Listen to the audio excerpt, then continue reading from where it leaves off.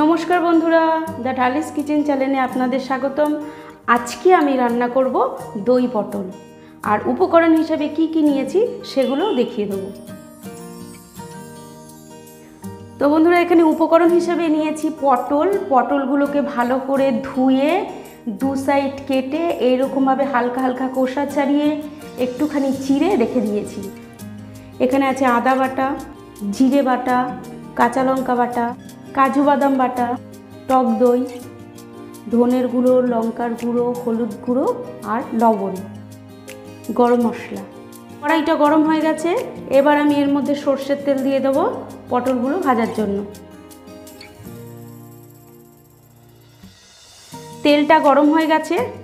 এবার আমি এর মধ্যে লবণ আর হলুদ মাখিয়ে রাখা পটলগুলো দিয়ে ভালো করে ভেজে নেব।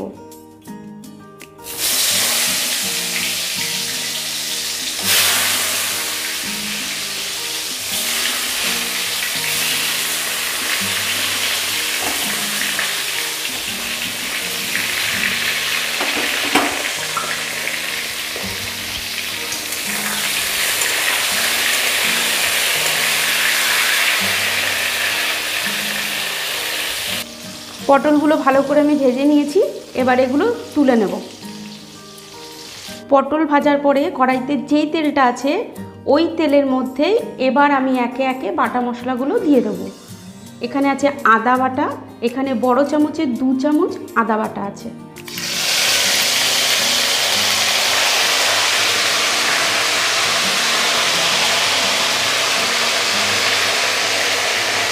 জিরে বাটা এখানে বড় চামচের দু চামচ জিরে বাটা আছে।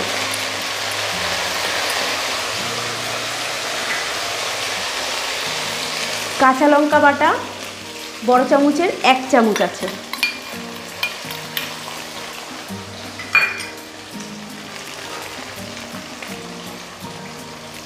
কাজু বাটা, বড় চামচের দু চামচ।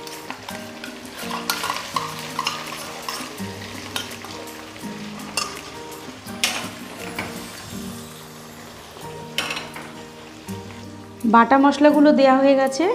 এবার আমি এর মধ্যে গুঁড়ো মশলাগুলো দিয়ে দেবো। এখানে হলুদ, লবণ, ধনের গুঁড়ো আর লঙ্কার গুঁড়ো আছে, ছোট চামচের এক চামচ করে।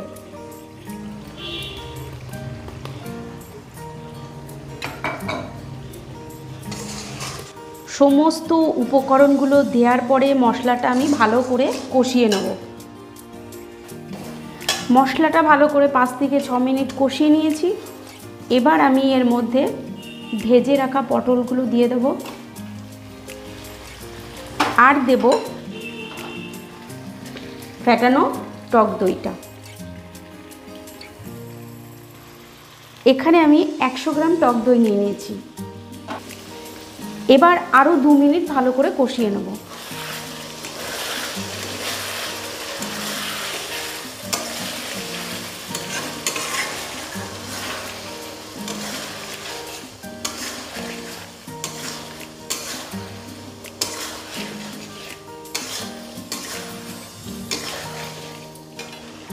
দু মিনিট মতন কষিয়ে নিয়েছি।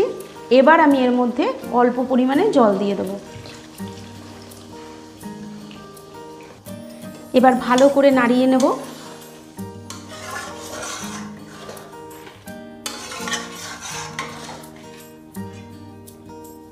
দশ মিনিটের জন্য ঢাকনাটা আটকে দেবো।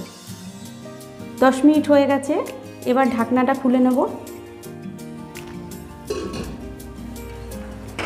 একটু ভালো করে নাড়িয়ে নেব।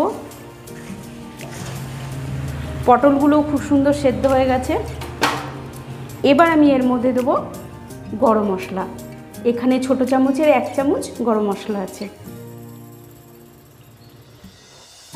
ভালো করে নাড়িয়ে চাড়িয়ে নামিয়ে নেব।